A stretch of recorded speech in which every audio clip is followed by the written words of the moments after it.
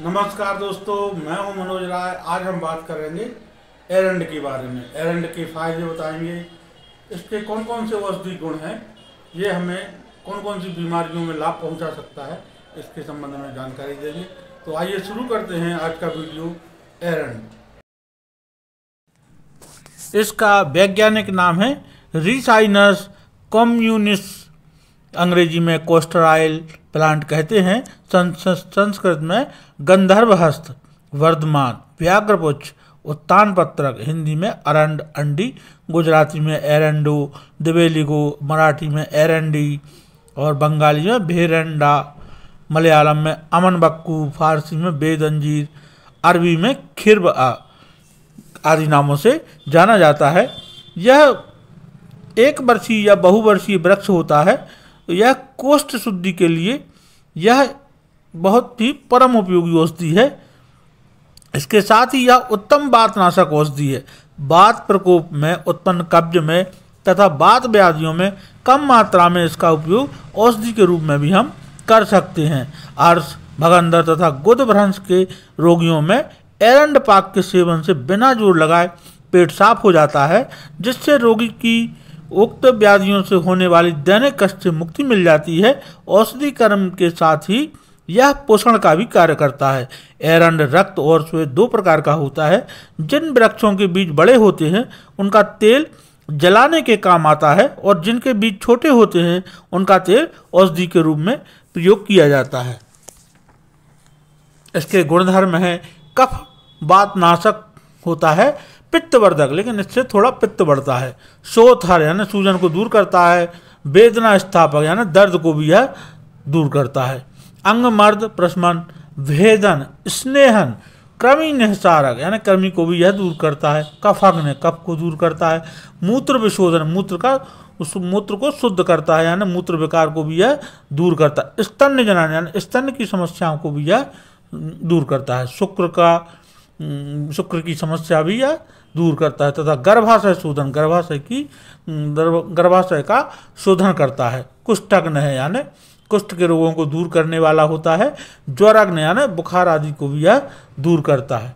एरंड तेल स्रोतों का शोधन करने वाला, यानी अगर एरन एरंड तेल का हम उपयोग करते हैं तो यह पेट के पूर्व जो जो स्रोत हैं तो इनका शोधन कर देता है।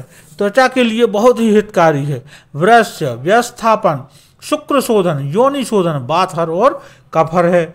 इसके कुछ प्रयोग हैं। तो नेत्र विकार में एरन तेल को अंजन की तरह लगाने से या फिर दो बूंद नेत्रों में डालने से जल का श्राव होता है नेत्रों से। इसलिए इसे नेत्र विरेचन कहते हैं।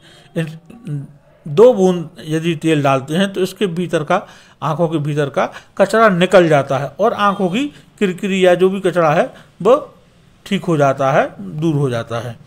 और यदि किसी के स्तन की आसपास की त्वचा यदि फट जाती है तो उसमें एरंड तेल लगाने से तुरंत लाभ हो जाता है।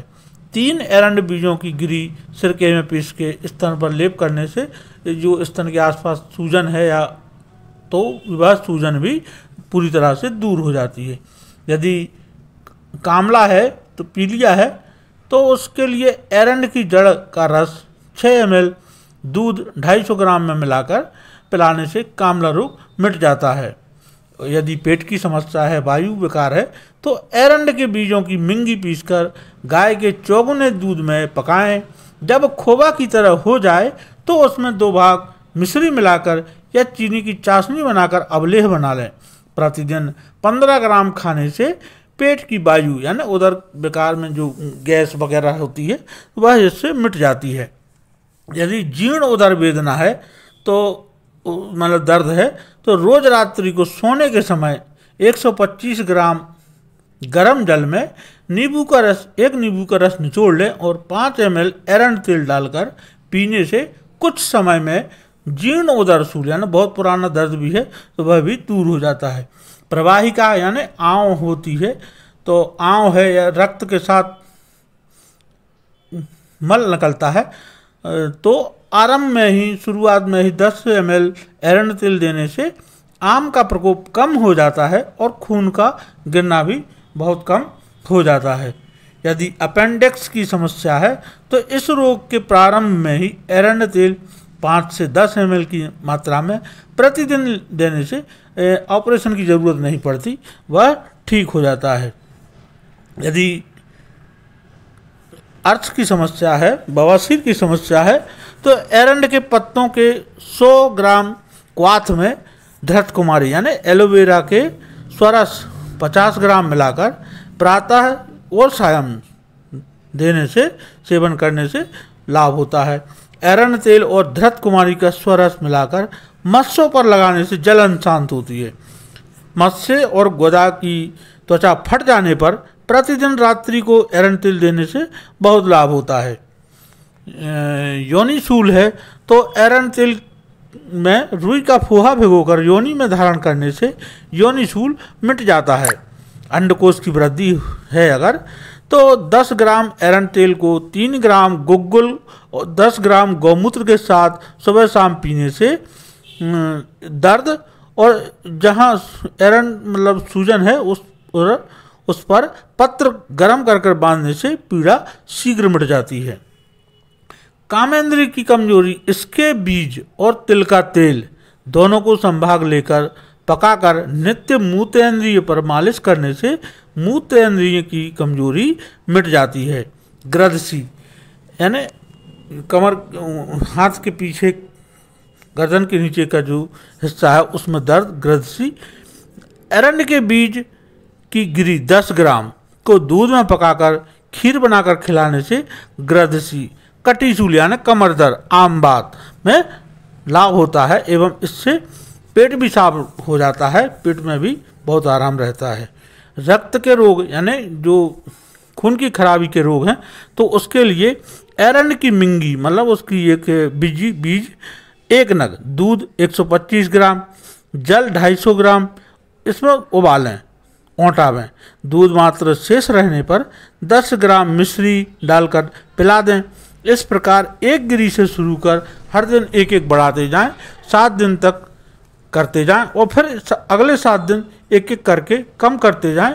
तो रक्त के रोग मिट जाते हैं। यह प्रयोग अत्यंत बात सामक भी है, यानी बात की समस्या भी यह दूर करता है। विषनाशक भी है एरंड के पत्तों का 100 ग्राम रस मिलाकर बमन कराने से सांप तथा बिच्छू के विष में लाभ होता है। बात प्रकोप है, यदि बात सूल है तो एरंड के बीजों को पीसकर लेप करने से छोटी संधियाँ, यानी जैसे उंगलियों की जोड़ है तो छोटी संधियाँ और गठिया की सूजन मिट जाती है।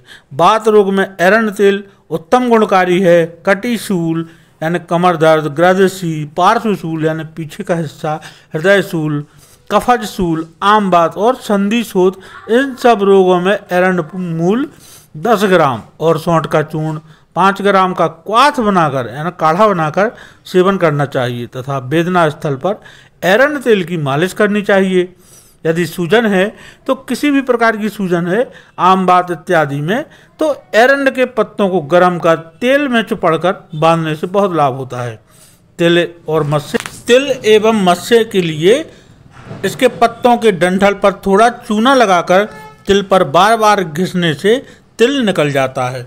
तो आज के लिए इतना ही। मिलते हैं अगले वीडियो में नई जानकारी के साथ। तब तक के लिए बहुत बहुत धन्यवाद। नमस्कार दोस्तों।